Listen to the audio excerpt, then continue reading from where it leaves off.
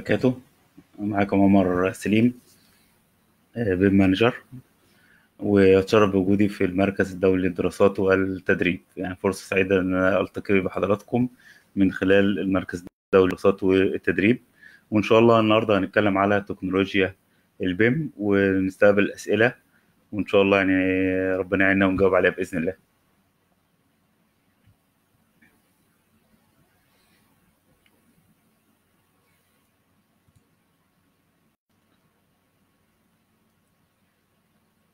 طيب بداية كده هنبدأ نعرف إيه هو ال BIM وإيه هي ال- ال- الفايدة منه وليه في اهتمام بيه. يعني إيه هي فكرة ال BIM؟ إن أنا فكرة ال BIM إن أنا بعمل موديل مطابق للي هيحصل في الواقع وأي مشاكل موجودة ببدأ أشوفها وأبدأ أفهمها أثناء التصميم. ما استناش لحد ما تخلص وبعد كده أبدأ أشوف هتتحل إزاي.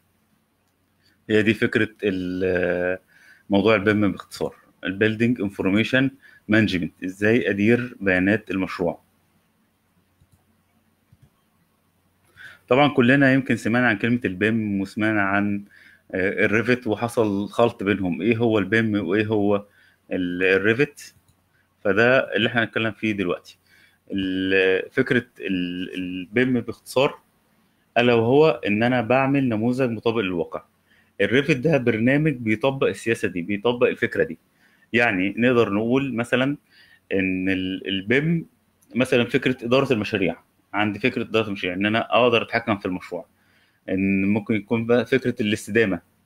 تمام؟ ال- ال Revit هي الأداة اللي بتحقق الموضوع دوت. تمام؟ يعني ممكن مثلا تقول إيه؟ إن ال- الاستدامة آه أنا ببقى عندي مبادئ الاستدامة. طب إيه الحاجة اللي تحقق لي موضوع الاستدامة؟ إيه البرامج اللي ممكن أشتغل عليها عشان تحقق الاستدامة؟ هي دي الفكرة.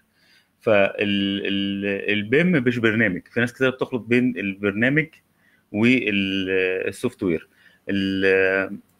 BIM هو عبارة عن فلسفة أو فكرة ممكن تعملها بأي برنامج. تمام؟ ممكن تلاقي برنامج زي ArchiCAD Tekla Revit ممكن AutoCAD Architecture AutoCAD Structure وهكذا. آه، أهلا حضرتك باشمهندس سؤال وألف شكر لحضرتك على الدعوة الكريمة. الله يكرمك يا شكرا جزيلا. تمام؟ طيب هي كانت من أهم الأسئلة من موضوع إيه هي فك... إيه هو ال BIM؟ قلنا building information management building يعني إحنا بنتكلم على المباني.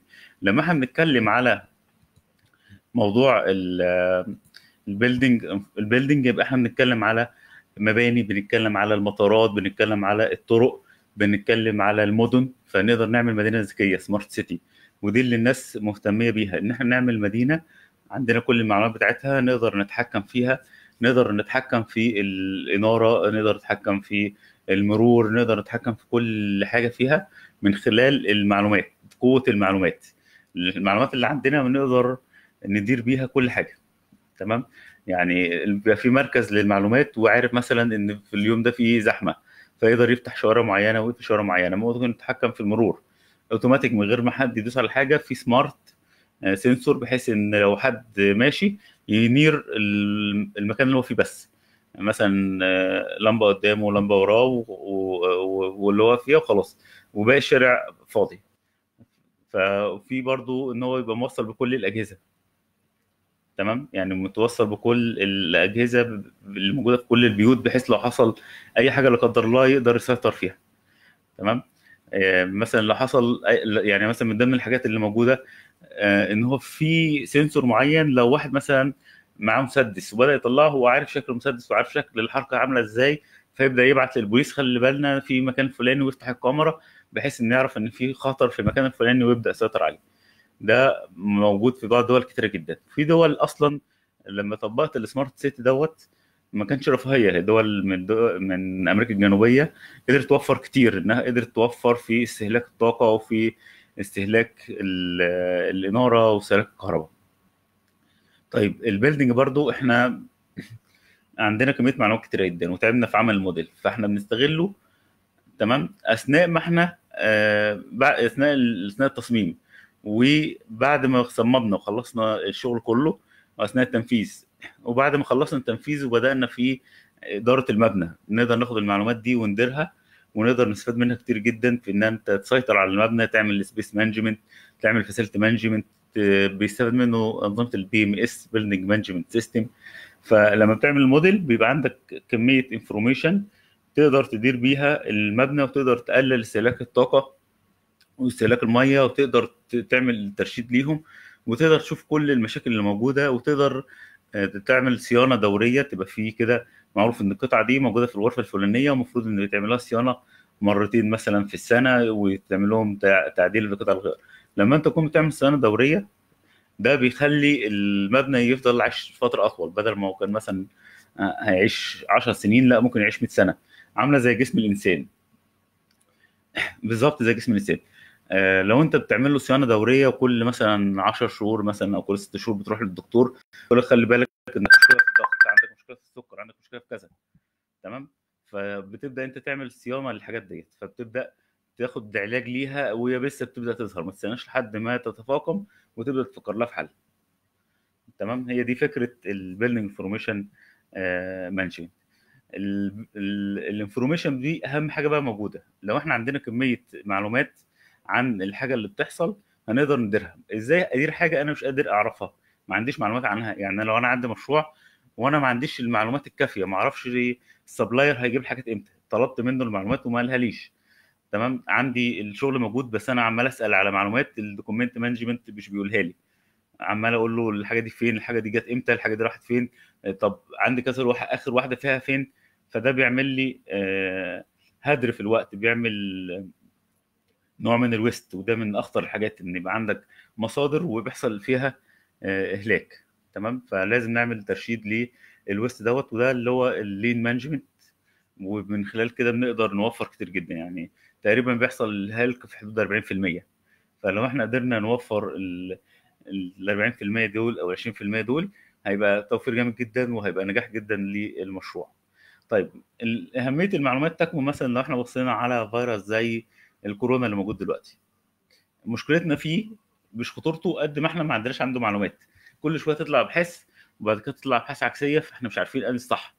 يقول لك إن هو مثلا بيهاجم الدم لأ ده بيهاجم القفص الصدري لأ ده البحث ده آه، فيه غلطة لأ البحث ده مش مستوفي الشروط طب درجة الحرارة العالية الصيف لما يجي هيأثر عليه ولا مش هيأثر؟ طيب المسافة اللي المفروض نسيبها قد إيه؟ طب بيقعد في الهواء ولا ما بيقعدش في الهواء؟ كل دي نظريات كل دي احتمالات وحاجة لسه جديدة ومش عارفين عنه معلومات. ممكن لما تعرف عنه معلومات تلاقي إن هو فيروس سهل جدا وإن هو آه، نقدر بحبات اسبرين مثلا نتخلص منه وهكذا. فمشكلتنا دلوقتي في نقص ال- المعلومات.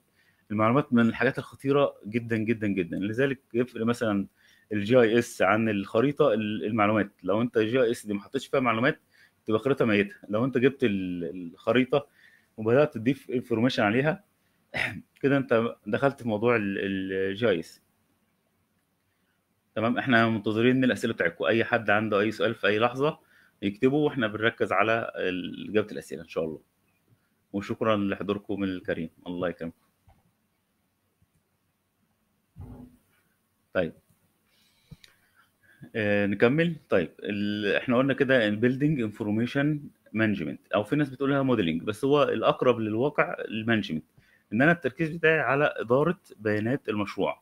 عندي كمية كبيرة جدا من المشروعات. إحنا ال BIM عاده بيتعمل في المشاريع العملاقة. أو ممكن يتعمل في المباني الصغيرة برضه مفيش أي مشكلة خالص. بس هو عاده المباني الصغيرة بتبقى شبه بعض. إنما لما يكون مبنى يونيك أو غريب أو حاجة ما اتعملش قبل كده بتبقى خايف إن يكون في غلطة في التصميم انت مش واخد بالك منها تهد المبنى.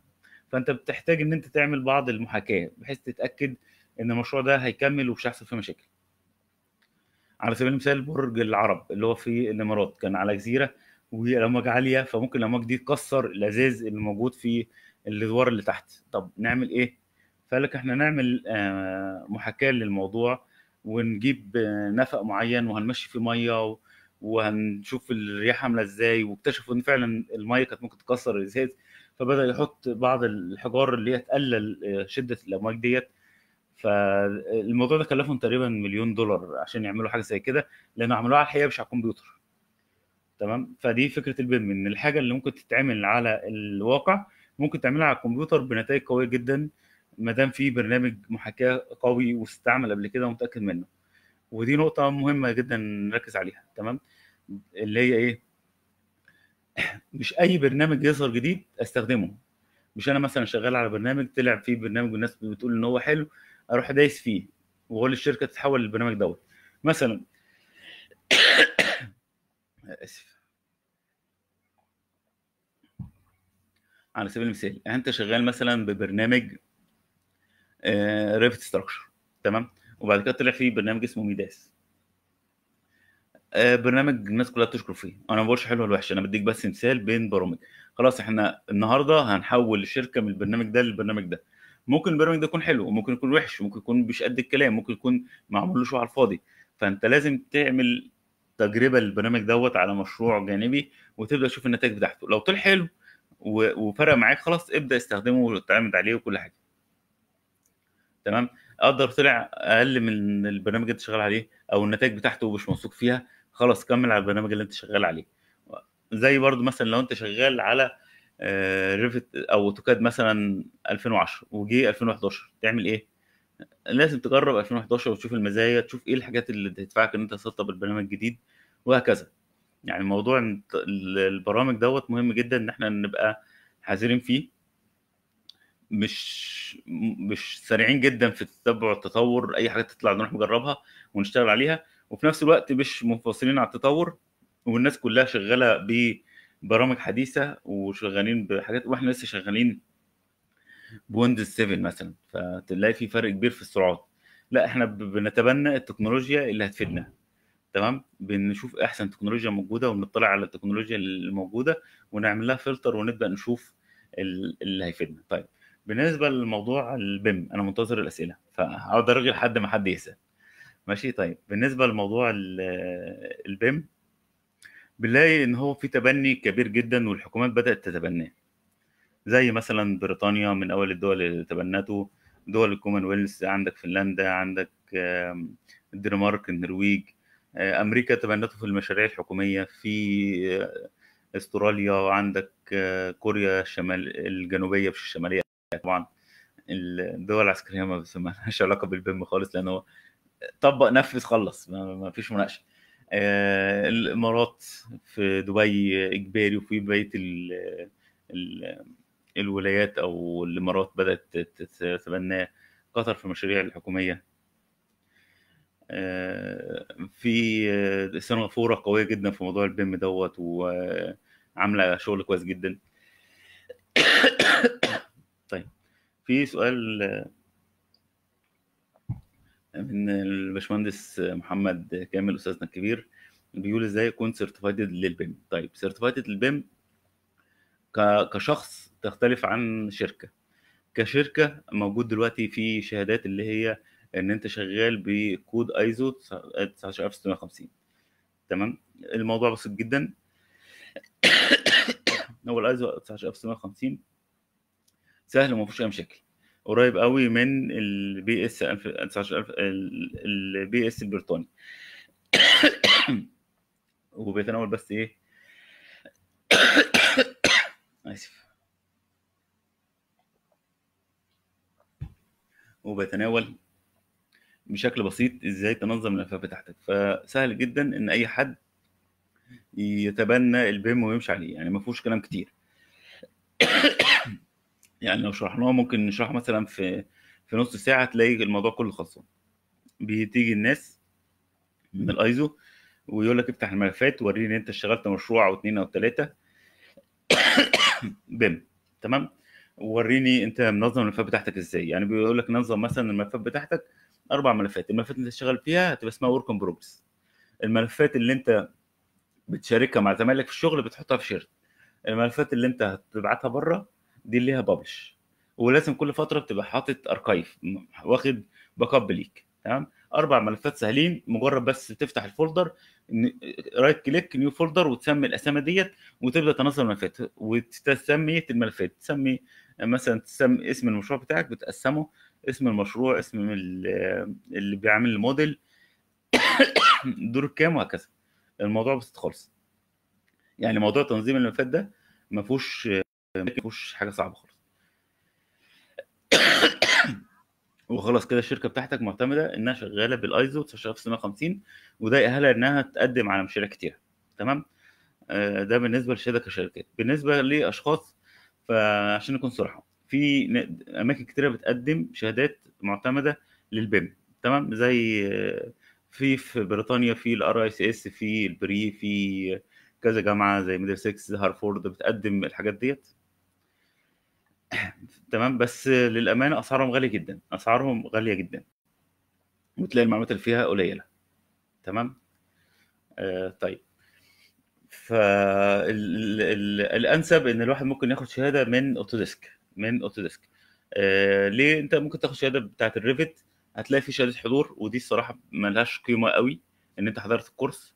تمام؟ لأن ممكن اكون حضرت الكورس ومش مركز مش فاهم. أنا في مثلا ممكن أكون حضرت حاجة مش مش مش مستمتع بيه أنا حضرت مثلا ال PMP وما استمتعتش بيه غلط مني أنا مش من. مش مش بعترض على اداني الكورس ولا على الكورس ولا خالص.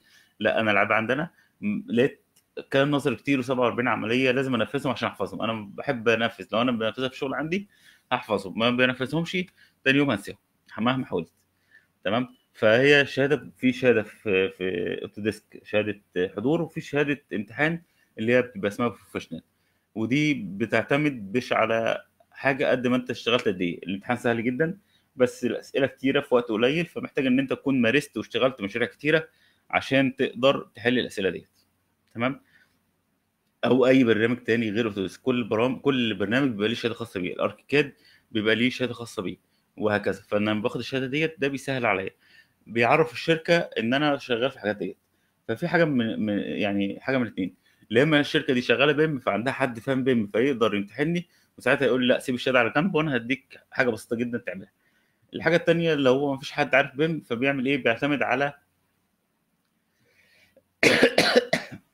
بيعتمد على آه، إن هو معاك شهادة ولا لأ. على سبيل المثال لو قالوا لي مثلا عايزين نعين حد في إدارة المشاريع أو حد في الاستدامة sustainability فأنا ما عنديش المعلومات الكافية فبقول له أنت معاك شهادة إيه؟ معاك شهادة PMP آه طب تعالى. تمام؟ معاك شهادة آه، LEED آه طب تعالى. GA ولا AP وهكذا. تمام؟ طيب آه، دي بالنسبة لموضوع ال- الشهادات. ليه لغاية دلوقتي موضوع ال BIM مش واخد حقه ونتائجه مش ملموسة في المشاريع الكبيرة في مصر ودول الخليج؟ لا في مشاريع حلوة جدا اتطبقت فيها وهقول لك مثلا مطار أبو ظبي. تمام؟ أنا ما اشتغلتش فيه بس المشروع آه، اتعمل بشكل كويس وممكن تسأل أي حد شغال في المشروع دوت. هتلاقي إن هو عمل نتائج ملموسة وفي مشاريع كتيرة جدا بس ده من أبرزهم يعني. طيب ليه مش ليه بعض الأوقات ما بيطلعش النتائج اللي إحنا مصورينها؟ لا ليها أسباب كتيرة جدا تمام؟ ممكن يكون تبني ال BIM ما تمش بشكل آه، منسق. يعني مثلا إيه؟ إحنا هنتبنى البيم طب إزاي؟ هنشتري أجهزة ونسطب عليها البرنامج. طب وبعدين؟ بس كده خلاص كده إحنا آه، هنبدأ نشتغل. فلا في قواعد معينة لتبني ال BIM. لو إحنا مشينا عليها مظبوط هيبقى في BIM مظبوط. على سبيل المثال لازم يكون عندنا BIM manager اشتغل في مشاريع قبل كده بحيث لما تواجهنا مشكلة يقدر يعمل لنا support إنما بالعافية وبالفكاكة ما بتمشيش الحال. بيبقى محتاج حد يكون آه، عنده خبرة بحيث إن هو يساعدنا في الموضوع دوت. آه، بدليل إن هو عمل نتائج قوية جدا مثلا في في سنغافورة. في مشاريع كتيرة جدا في في في السعودية وفي في قطر وفي الإمارات عملت نتائج كويسة. وفي مصر برضو مشروع آه، مول مصر ومشروع المتحف المصري ومشروع آه، إلى العالمين. كان فيهم شغل آه، كويس لحد كبير في ال BIM يعني. فهو ال BIM محتاج يكون معاك فريق معاك ناس فكر نفسه مختلف. يعني إيه؟ الفكرة إحنا متعودين عليه إن إحنا نكتب المعلومة إن إحنا ما نشاركش المعلومة مع بعض. هو لأ هو معتمد إن أنت ما بتمنعش المعلومة أو بتخزن المعلومة. لا في server عليه كل المعلومات في كل الناس بت share عليها نفس المعلومة. لو إحنا ما عندناش الثقافة ديت آه، ال BIM مش هيفيدنا بحاجة خالص. يعني ال BIM معتمد على تشارك المعلومة والناس كلها تبقى عارفة المعلومة ومحدش يكتم المعلومة والمعماري والإنشاء والكهرو mechanical. حتى لو شركات مختلفة فهدفهم نجاح المشروع فتلاقيهم كلهم بيشاركوا المعلومة. إنما لا ده تلاقي مثلا المعماري شركه والانشاء شركه وكل واحد عايز يثبت إن التاني هو الصح فمش راضيين يشاركوا المعلومات مع بعض فممكن تقع. أو ممكن تلاقي نفس الشركة بس إيه أقسام مختلفة وبينافسوا بعض وكل واحد يثبت إن هو اللي كويس و... والمشاكل اللي بتحصل اللي أنتوا عارفينها دي ده ده كده مش هينفع على ال BIM. ال BIM بيعتمد على منهج من مناهج الإدارة اسمه ال IPD integrated project delivery integrated project delivery عبارة عن إيه؟ إن إحنا من أول يوم في المشروع إحنا كلنا متع- بنتعاون على نجاح المشروع. من أول يوم في المشروع بيبقى موجود المالك مع الاستشاري مع المقاول مع ال facility management. طب ال facility management ده في آخر المشروع. ما أنا مش هستنى لحد يبقى آخر المشروع وبعد كده يقول لي لا الحاجة دي مش هتناسبني. أنا عايز برامج معينة أو عايز material معينة أو نوع الإزاز ده يعمل لي مشاكل غيره. لا تعالى من أول يوم وخليك موجود معانا ولو في حاجة مش مناسباك قول لنا. بتاع الاستدامة أو ال sustainability أو ال LEED أو ال BREEAM. ال LEED في في أمريكا وال BREEAM في بريطانيا. وفي مصر عندنا ال Green Pyramids وال Green Pyramids بيدي نقطتين لو انت شغال BIM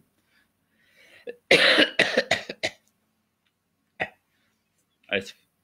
وبيديك ثلاث نقط لو انت شغال BIM مع الاستدامة. أربع نقط لو انت شغال BIM مع ال facility management. فبيفرق كتير جدا لو انت معتمد في ال- ال- ال BIM هتلاقي إن هو يفرق معاك كتير قوي.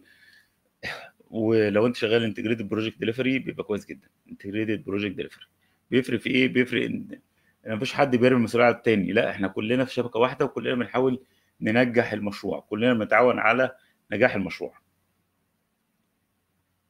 تمام؟ طيب. آه، إيه الاستفادة اللي إحنا ممكن نستفادها من البيم؟ حاجات كتير قوي كل واحد في المشروع بيستفاد حاجة. وأكتر واحد بيستفاد اللي هو المالك أو المشغل أو آه، اللي هياخد المبنى يديره بعد كده. تمام؟ اللي هو الأونر الأخير. ليه؟ لأن أنا بديله المبنى بدل ما كان هو عامل حسابه إن هو هيقعد 30 سنة 40 سنة لا ممكن نخليه يقعد مثلا 200 300 سنة من خلال إن إحنا مجهزين المعلومات الكافية لصيانه وإدارة المبنى بشكل قوي وبشكل 3D وهكذا. المعماري بيستفاد إن هو بياخد sections كتير بسرعة آه، قطاعات آه، طبعا حاجات كتير قوي بس دي من أغلب الحاجات اللي المعماريين بيعجبهم في موضوع ال BIM دوت موضوع ال material ممتاز جدا بتلاقي خصائص كتيره لل material. لو أنت عايز تعمل sustainability هتلاقي أدوات كتيرة وهو بيتكامل مع كل برامج ال sustainability يعني لو عندك أي برامج برامج ال sustainability أنت متعود تشتغل عليها زي DesignBuilder مثلا مش بقول لك ارميه لا كمل شغل عليه وهتاخد بس الموديل من ال BIM جاهز. أقول لك بدل ما تقعد ترسم الموديل اتفضل يا سيدي الفاضل الموديل جاهز ابدأ اشتغل عليه ولو في أي ملحوظة قول لنا عليها. تمام؟ في أي أسئلة أو في أي حاجة مش واضحة؟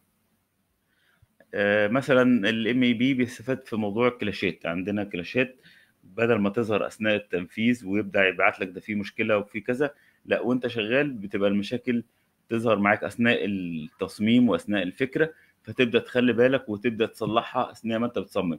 فتكلفة التصليح وأنت بتصمم zero عكس تكلفة ما أنت بعد ما عملت مثلا الكاميرا فوجئت إن في آه، ماسورة ماشية هنا فاضطر تكسر الكاميرا أو تكسر الماسورة ودي تكلفة مش سهلة.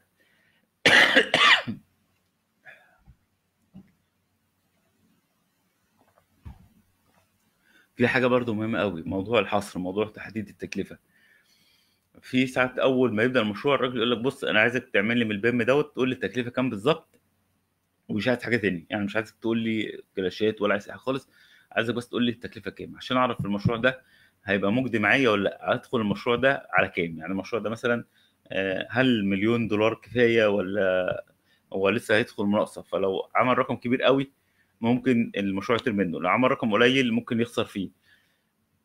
هو عايز يعرف تكلفة المشروع وهيزود ال- الربح بتاعه.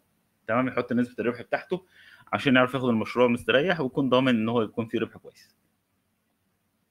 في مثلا آه، دي موضوع التكلفة موضوع ال- ال- safety إن أنا ممكن أعمل شخص يبقى ماشي في قلب الموديل ولما يكون في فتحة الشخص يقع فيها فناخد بالنا إن في مشكلة في المكان دوت أو في hazard في المكان دوت فنحط مثلا سور في انواع كتيرة من المخاطر في ال safety فبنبدأ نعمل لها simulation ونبدأ نشوف المشاكل فين ونبدأ نشوف الحلول بتاعتها إيه ونعمل خطة لل safety management ده من خلال البرامج بتاعت ال BIM. هو بيديني الموديل بتاع ال BIM فممكن تستفاد منه في برامج كتيرة واستفادات كتيرة جدا. ممكن يكون عندي جدول زمني معمول على ال Primavera أو MS Project فأنا ممكن أربط الموديل بالحاجة دي بحيث إن أنا أبقى شايف المبنى وهو بيتبني خطوة خطوة. أبقى متخيل إيه الحاجة اللي قبليه. يعني هل أنا مثلا هحط المكن الأول ولا هبني الحته الأول؟ ممكن يكون عندي مكنة كبيرة قوي فعشان تدخل.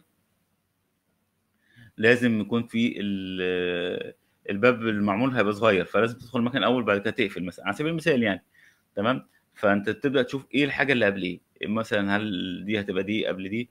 فممكن في الجدول الزمني ما تكونش واضحة إنما لما تبدأ تعملها بال 4D في ال BIM اللي هو إن أنا بزود ال time بزود الوقت على المبنى بدل ما المبنى آه، ثابت تمام؟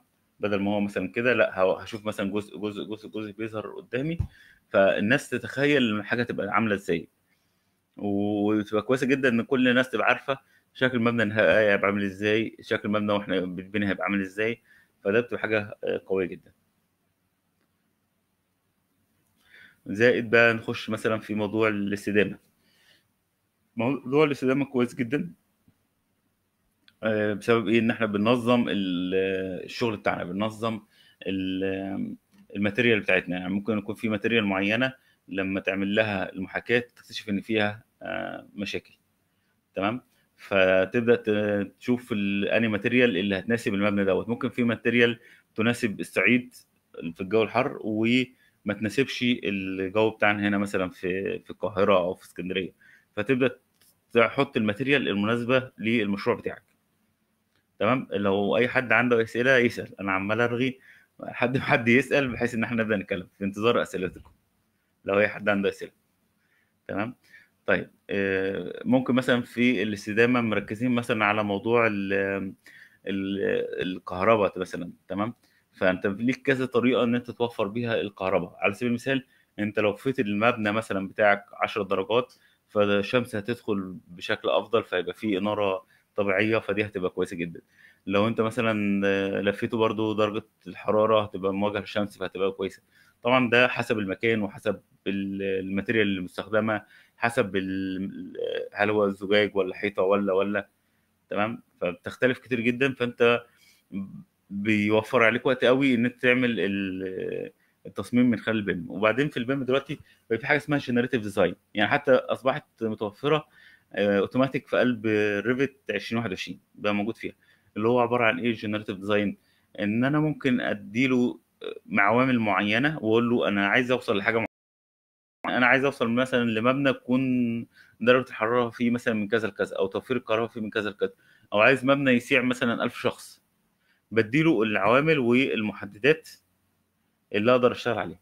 وبعد كده هو بقى بيبدأ يشوف أقول له مثلا إيه أنا عايز المبنى ده 1000 شخص ويكون مثلا من 10 أدوار ل 15 دور مثلا. تمام؟ فهو بيبدأ يدرس العوامل ديت ويبدأ يجيب لي 20 30 تصميم ويبدأ يقارن بينهم بالعوامل اللي أنا هديها له ويبدأ يقول لي أفضل تصميم هو. تمام؟ وأنا ببدأ أشوف التصميم ده هل هو مناسب ليا ولا ممكن أشوف تصميم قريب منه. فدي بتبقى جميلة جدا. وما بتاخدش وقت. لو أنا حاولت إن أنا أشوف أفضل تصميم فإحنا في العادي بنعمل مثلا ثلاث أو أربع تصميمات مثلا بالط... بالطريقة العادية وكل واحد فيهم ياخد له مثلا ثلاث أربع أيام وبعد كده أبدأ أقارن بين النتائج اللي طلعت بينهم وأختار واحد. فأنا قارنت بين كام؟ بين ثلاث أو أربع بدائل ممكن بقى من خلال الكمبيوتر في خلال مثلا 10 دقائق مثلا طبعا حسب جهازك ممكن الجهاز بتاعك يكون سريع يكون دقيقة واحدة. تقارن بين 1000 آه، أداة أو 1000 آه، طريقة أو 1000 أسلوب. وتقارن بينهم وتختار الأفضل ليك. تمام؟ واحدة.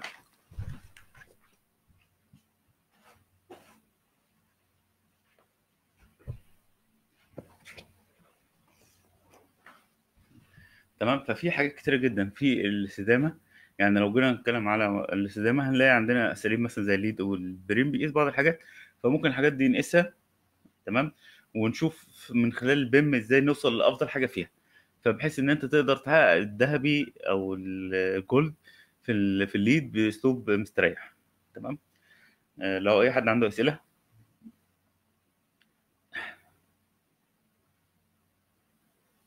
طيب آه، دي من ضمن الحاجات القوية في موضوع ال BIM. لو إحنا برضو شفنا موضوع ال facility management. ال facility management من الحاجات ال- القوية جدا اللي هي إن أنت تقدر تدير المبنى والجميل فيها إن مش كل الناس عارفاها. فأنت لو عايز تتميز في حاجة ممكن تتميز في الاستدامة من خلال ال BIM أو إدارة المشاريع من خلال ال BIM أو ال facility management من خلال ال BIM. يبقى أنت بت- بتتكلم في حاجة أصلا ما فيش كليات بتخرجها فأنت آه، يعني سهل التميز فيها وتبقى من الناس القليلة جدا اللي متقنة الموضوع دوت. موضوع ال facility management من خلال ال BIM. إن ما استناش إن حد تحصل عنده مشكلة فيبعت لي. لأ ده هي اوتوماتيك أول ما تحصل مشكلة يبدأ يبعت لي رسالة مثلا على الموبايل أو على الكمبيوتر أو يبعت direct اللي بتاع الصيانة. في الغرفة الفلانية فيها مشكلة وعايزين حد يصلحها. تمام؟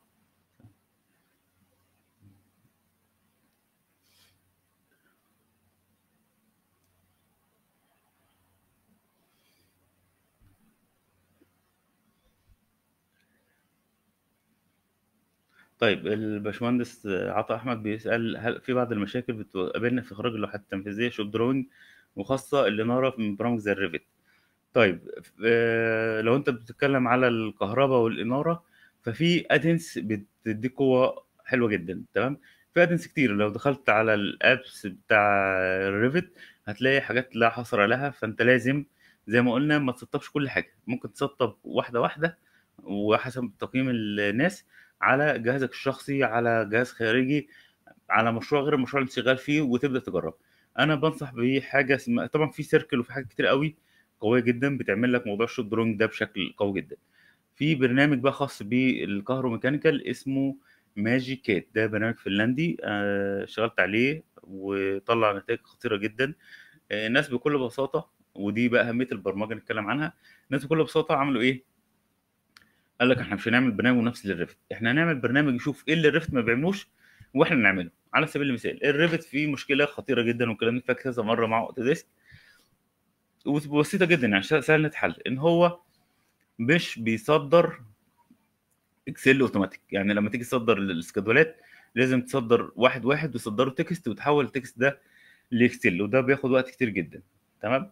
لا آه هناك بقى راحوا عاملين أداة تدوس على الزرار يروح جايب لك قائمة بكل ال Excel تعلم عليهم وتقول له export تروح مصدرهم لك Excel بتنسيق show قوي جدا ب show حلو ال title اللي فوق واخد لون ده بألوان وهكذا. موضوع سهل جدا ولو سألت أي مبرمج هيقول لك الموضوع ده ما ياخدش منه مثلا ساعة في البرمجة لو هو بيبرمج جوه ال Revit تمام؟ بس هم بدأوا يشوفوا إيه الحاجات اللي مش موجودة.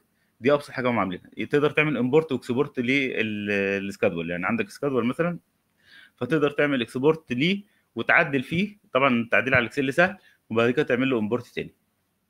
فدي من ضمن المزايا القوية جدا في ال add-ins من ضمن الحاجات برضه اللي هم عاملينها جميلة جدا هتعجبك إن أنت ممكن تحدد غرفة room أو space الفرق بين ال room وال space ال room بيبقى فيها المعلومات الخاصة بالغرفة زي اسمها ورقمها وارتفاعها. بس إنما ال space بيبقى فيه حاجات خاصة بالكهرباء حاجات خاصة بال energy حاجات خاصة بالتكييف. تقدر تضيف حاجات كتير جدا في موضوع ال space ال space بتبقى آه، أقوى وحاجات خاصة بالكهرو mechanical أكتر هم عاملين مثلا إن أنت ممكن تحدد space وتقول له وزع لي فيها ال lighting فت... بقاعدة مثلا معينة المسافة بينهم كذا وكذا وكذا. أو تقول له مثلا وزعهم لي حسب الكود ال ال بتاع أمريكا أو كود بتاع بريطانيا فهو مديك اكواد من غير ما تكتب حاجة هي الاكواد جاهزة فيروح موزع لك حسب الحاجات دي. مثلا لو أنت عندك sprinkler فبيروح موزع لك ال sprinkler حسب الكود مثلا ال NFPA بحيث إن المسافة بينهم مثلا ما تقلش عن كذا وما تزيدش مثلا عن 3 متر ويكون المسافة بينه وبين الحيطة ما تزيدش مثلا عن متر ونص وما تقلش عن نص متر حسب الكود اللي أنت شغال عليه. فبيعمل لك الحاجات دي كلها أوتوماتيك وبعد كده تقول له وصل بينهم فيروح موصل لك بينهم بمواسير ويديك أكتر من اختيار بحيث إن أنت تختار اللي افضل ليك. فدي بتوفر عليك وقت كتير جدا. لو أنت فضلت تعمل الموضوع دوت هتلاقي إن هو بيسهل عليك كتير جدا. فهو بيعمل الادنس اللي الناس محتاجاها. ممكن تكون في مشكلة مثلا كلاش معين. تمام؟ هو يبدا يقول لي يقول لك طب أنا ممكن أطلع بالماسورة دي. ويجيب لك مثلا الماسوره أهي ويقول لك في ماسورتين خابطين طب أنا هطلع كده وأنزل وأعمل. تمام؟ لو الماسورة بتاعت ال drain طبعا مش هينفع الموضوع دوت. فهو يبدأ يجيب لك حلول تانية غير كده. يحركها يمين يحركها شمال يبدأ يديك مثلا 15 حل أنت تبدأ تجرب وتشوف أفضل حل فيهم اللي مناسب لل system بتاعك. فهم حاطين فيه أصلا نوع من أنواع الذكاء الصناعي. تمام؟ هي دي فكرة البرمجة. طب البرمجة دي ما إحنا ممكن نعملها جوه ال AutoCAD يعني. ال AutoCAD أصلا بيتبرمج بكذا حاجة. بيتبرمج بال AutoLISP تمام؟ أنا كنت عامل كتاب في ال AutoLISP ده زمان بس دلوقتي ما بفهمش في حاجة. ما بقالي كتير بقالي سنين ما, ما, ما عملتش في حاجة. وممكن تبرمجه بال Visual Basic application وممكن تبرمجه بأكتر من حاجة يعني. بس هم دول الاثنين الأساسيين. بس أنت بتتعامل وأنت بتبرمج جوه ال AutoCAD إن أنت تتعامل مع خطوط وأقواس فما بيطلعش حاجة ما بتستفادش حاجة. تاخد وقت كتير جدا عشان تعمل تقول له مثلا إن دي ماسورة مثلا. تاخد وقت رهيب جدا عشان تبدأ تفهمه إن أنت شغال مثلا plumbing أو شغال تكييف أو شغال كهرباء. تمام؟ إنما لو أنت شغال في ال Revit لأ خلاص أنت أصلا بادئ وهو عارف الحاجات دي كلها. فأنت بتقول له بس إيه آه، دول وصلهم ببعض أو دول مشيهم كذا. فلما بتيجي تبرمج جوه أي برنامج برامج ال BIM سواء ArchiCAD Tekla Navisworks Revit كل الحاجات دي بتبقى سهلة جدا. تمام؟ ليه؟ لأن أنت عندك البذرة موجودة وعندك الأساسيات آه، موجودة. تمام؟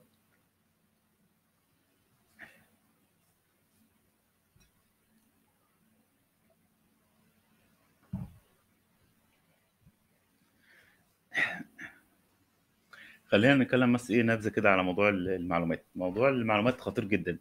لو انت عندك المعلومات الصح تقدر تعرف تدير المبنى.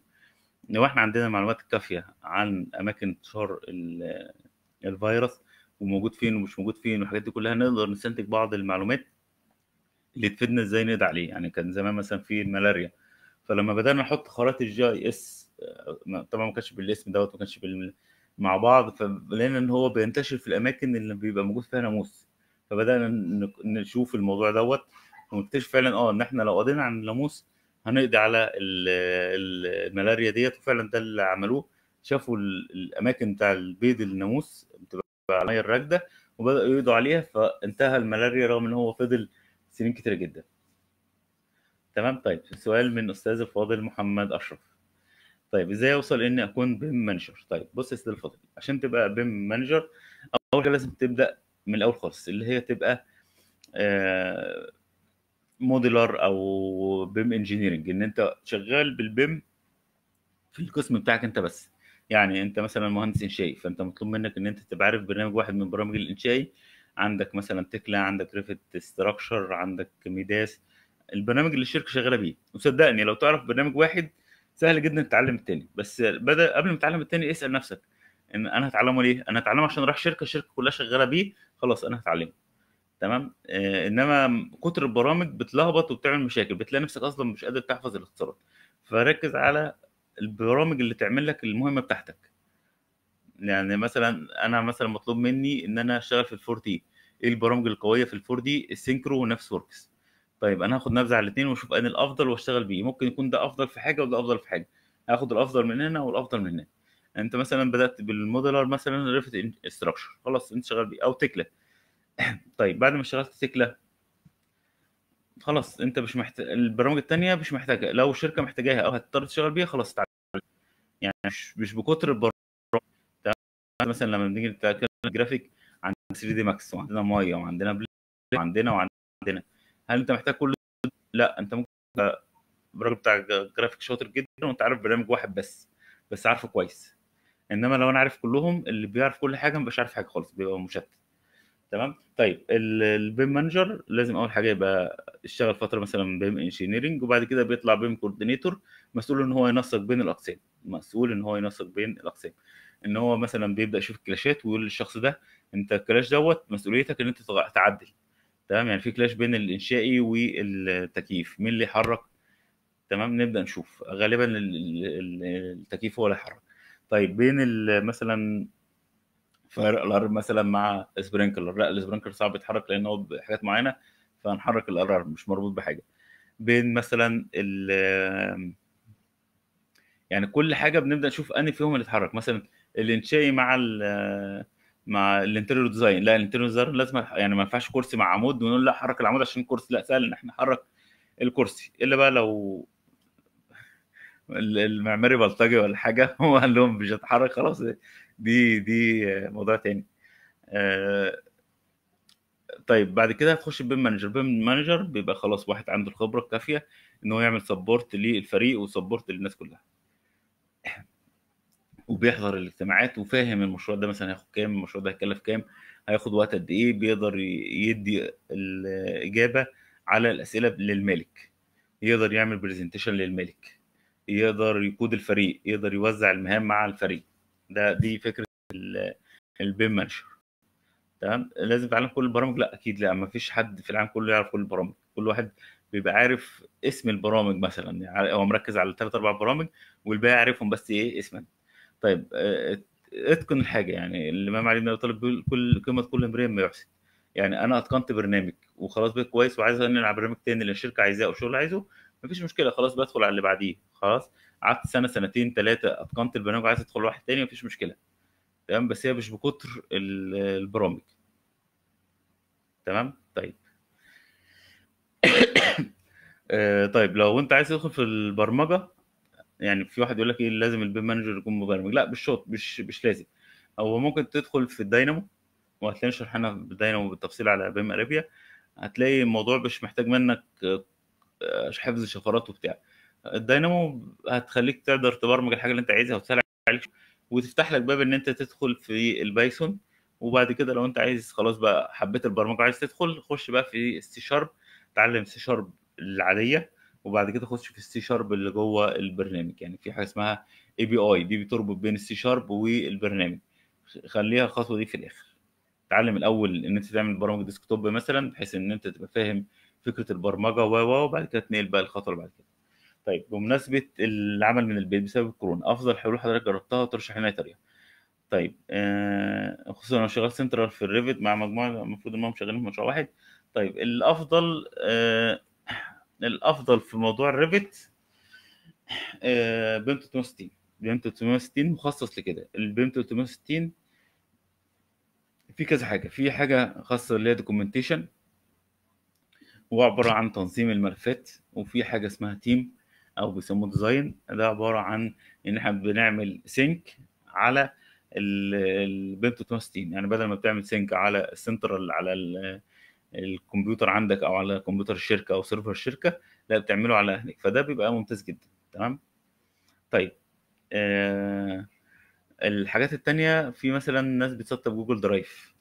Google Drive بيبقى ميزته إن هو مش هيكلفك حاجة. يعني حتى لو أنت اشتريت نسخة أصلية أو اشتريت مساحة واحد tera بيبقى لا شيء بيبقى رخيص جدا تمام؟ آه طيب. آه في مثلا ناس بتسطب VPN أنا الصراحه جربت ال VPN ولقيته ممتاز وده اللي أنا شغال بيه حاليا. آه في VPN ده بيعمل لك شبكة وهمية بتقدر تدخل على الشبكة بتاعت أو ال server بتاع الشركة عندك وبدون أي مشاكل خالص. ده أنا شغال بيه وما فيهوش أي مشاكل خالص. ده اللي إحنا اختيار اللي إحنا اخترناه في الشركة اللي أنا شغال فيها.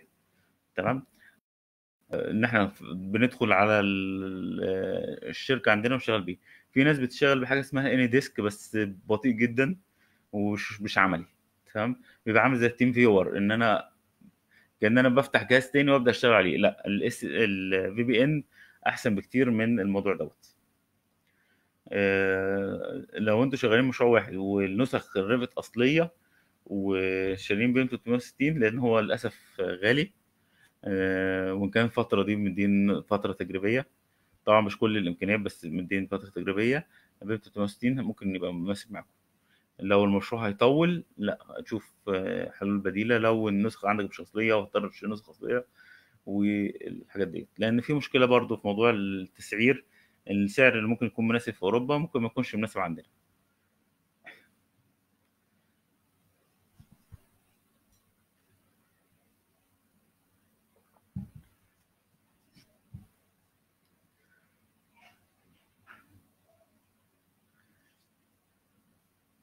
هل في أي حد عنده أي أسئلة؟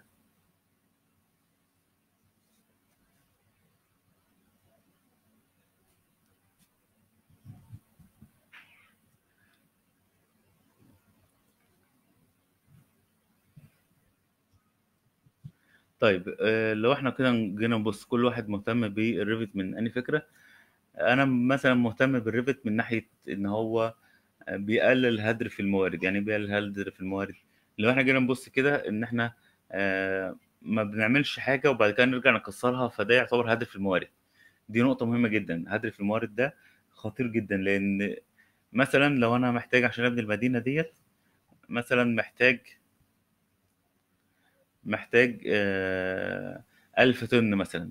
لو أنا عملت تكسير في الحاجات وبدأت أعملها تاني والحاجات دي كلها هي- هيبقى فيه استهلاك كتير من ال- المواد والمواد دي مش مش بتاعتي أنا دي بتاعت الأجيال القادمة. فأنا كده أخدت حق من الأجيال القادمة. فالمفروض الحق ده أحفظه لهم أما ما أهدرش موارد مش بتاعتي.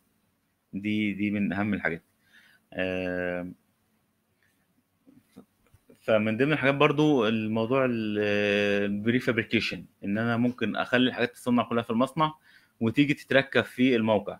الموقع مش مهيأ إن أنا أكسر وأصلح ومثلا يبقى عندي آه، دكتات أبدأ أقطعها أو مواسير اقعد أقطعها. ما ده هيخلي فيه خطورة على الحاجة إن ممكن أنت آه، تكسر حاجة أو تعمل حاجة آه، بالغلط حد يصاب. تمام؟ يعني ك safety غلط إن أنا أقعد آه، أقطع حاجات.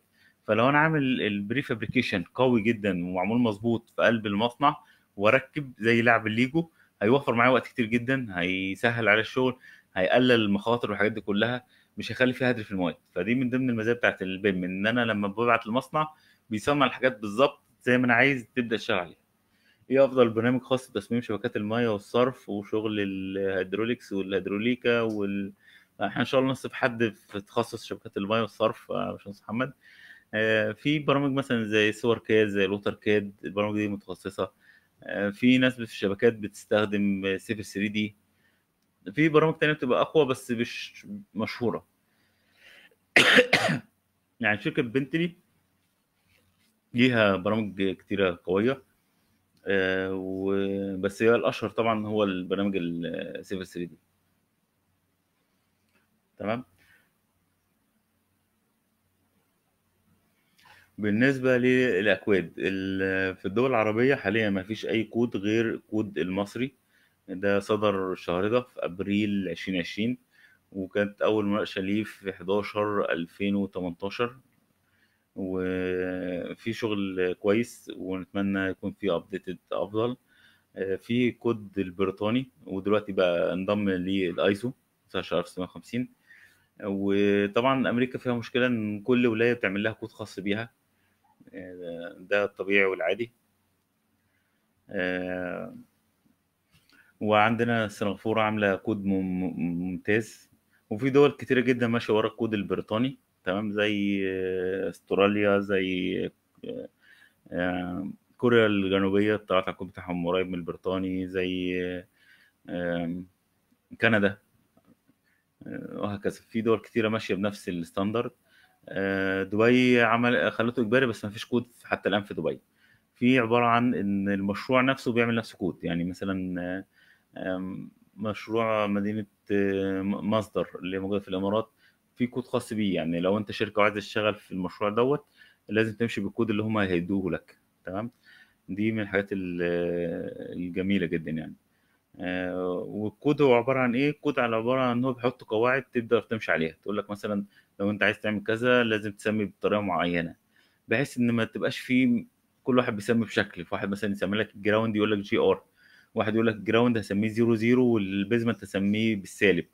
واحد هيقول لك إيه أنا هبدأ أول لوحه عندي لو basement مثلا 10 هبدأه بواحد بواحد واللي بعد كده اتنين تلاتة لحد ما أوصل ال ground مثلا ممكن يطلع 10 فتلاقي كل واحد بيخترع. فلا هو يقول لك لا هنديك طريقة تسمية اللي يبص عليها يفهم ال- الحاجة ماشية إزاي. آه، وفي أكواد بتبقى عبارة عن مثلا 50 صفحة وفي أكواد بقى بتبقى كذا كتاب. حسب هم عايزين يخشوا في درجة تفاصيل قد إيه.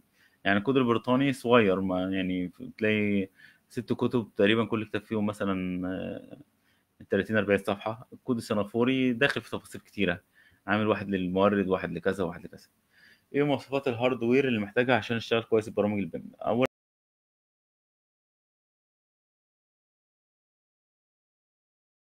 معتمد على كارت وهكذا. تمام؟ يعني ب... مثلا ملوش دعوة بكارت الشاشة آه... ليه دعوة أكتر بالرامات. أو كارت الشاشة ال- اللي هتجيبه عشان يعمل معاك فرق غالي جدا. فإحنا بنعتمد على موضوع الرامات. لو أنت دفعت فلوس لا ادفعها في الرامات هتلاقي أداء أفضل. تمام؟ آه، فلازم تحدد إيه ال software وتبدأ تشوف ال requirement اللي موجودة. بس عموما الأجهزة اللي إحنا بنشتغل بيها لا تصلح لشغل BIM ليه؟ لأنها أجهزة يعني المفروض إنها للحاجات ال office ال- بيقول لك personal computer PC personal computer فقدامك اختيارين إن أنت تبعد عن ال PC وتجيب حاجة اسمها gamer gamer gamer اللي هي بتاعت الألعاب. تمام؟ أنا الجهاز اللي أنا فاتحه دلوقتي ده gamer وأداؤه معقول يعني ما أقدرش أقول إن هو أداؤه wow بس هو أداؤه بيأدي الغرض معايا. والحاجة التانية إن أنت تجيب work station بس ال work station بيبقى غالي. فأنا لقيت الأقرب للإمكانيات بتاعتي إن أنا أجيب gamer وإن كنت مش مش دلوقتي بس اسمع وخلاص. بس هو كارت الشاشة بتاعه بيبقى حلو والرامات بتاعته حلوة فبقدر أشتغل عليه آه كويس يعني. بيعمل عليه presentation يعني. سبب إن أنا اشتريته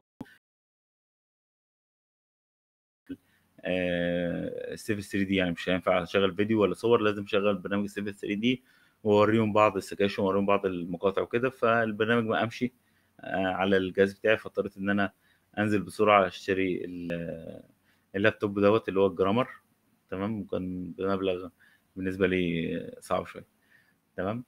طيب آه طبعا ال- ال hardware بيبقى تكلفة آه، فلازم تبقى عامل حسابها يعني الشركة قبل ما تشتري لا بتبدأ تدرس طب لو إحنا اشترينا مثلا رامات عالية طب آه، كارت شاشة تبدأ تشوف إيه أنسب حاجة بحيث إن أنت ما تدفعش مبلغ كبير تدفع مبلغ يعني مبلغ معقول وتكون الاستفادة بتاعته أقصى حاجة ممكنة هل في أي أسئلة في خصوص ال BIM أو غير ال BIM؟ نتمنى ربنا يعيننا ونجاوب عليها إن شاء الله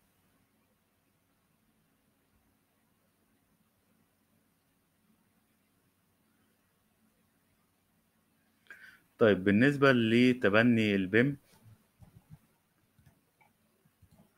في حد سأل سؤال بس أشوفه. بالنسبة لتبني ال BIM في تبني ال BIM بالنسبة للدول؟ إن الدولة تقول لك أنا هعتمد إن مفيش حد هيشتغل غير بال BIM. ده ساعتها كل الناس هتبدأ ت... كل الناس هتبدأ تتبناه خلاص. يعني لو الدولة قالت ال BIM إجباري فخلاص ما فيش أي مناقشة. خلاص هتلاقي كل الناس شغالة BIM تمام؟ فلما تبقى دولة إجباري خلاص بتلاقي كل الناس. أنا مثلا كنا شغالين في مشروع في قطر كده آه، ك كباحث مساعد في جامعة قطر. إن تبنى البيم ولا لأ؟ يعني لو خدنا قرار خلاص ال BIM بقى إجباري. بس آه، طبعا مع ناس دكاترة افاضل آه، هم اللي ماسكين الموضوع. فلما شفنا الموضوع لقينا إن هو تبني ال BIM صعب في قطر لأن آه، مفيش الكمية الكافية اللي هي تقوم مشروع أو يعني يشتغلوا في ال BIM هضطر إن إحنا نمشي ناس كتيرة. وده حصل في في في الإمارات في أعتقد في 2008 حاجة زي كده. آه، ناس كتير عندها شغل طب هنطبق ال BIM طب مشي الناس فبتعمل قلق. فلازم يكون عندك الناس بدأت تشتغل BIM وتعتمد BIM عدد كافي إن أنت تقول هطبق البيم فعلى الأقل مثلا يكون في 40% مثلا فالناس تبدأ تتجه لحاجة زي كده. تمام؟ ال 40% دول يعلموا ال 60% الباقيين. إنما لو عدد قليل هيبقى صعب إن إحنا تتبنى ال BIM بين يوم وليلة. تمام؟ آه، ده تبني ال BIM من فوق ويسحب الناس اللي تحت. في تبني ال BIM من تحت لفوق وده ضعيف إن هو الشركات ال supplier بتقدم لك family لل BIM فبتدفعك إن أنت تتبنى ال BIM. في حاجة بقى إن هي إيه؟ الشركات بعض. ده ده كلام يعني في رسالة الدكتوراه يقول لك إيه؟ الشركة دي شايفة إن الشركة التانية بت- بدأت تت- تتبنى ال BIM وتطبقه فتقول لك وليه إحنا ما تبنهوش وتبدأ تطبق ال BIM وتبدأ تاخد آه، نفس ال- الفكرة وتبدأ تاخد تشوف ال standard وتبدأ تاخد الناس اللي هناك ويبدأوا هم كمان يتبنوا ال BIM. يعني لما شركة اوراسكوم مثلا تتبنى ال BIM المقاولون العرب أكيد هتتبنى ال BIM والعكس. يعني كل شركة بتتبنى الشركات اللي حواليها بتبدأ تشوف إيه التكنولوجيا اللي هم بيتبنوها الجديد ديت مثلا lean management طيب إحنا عايزين نشوف التكنولوجيا دي هتفيدنا ولا مش هتفيدنا؟ لأن كله بيحب يكون موجود في المنافسة يكون موجود في الصورة.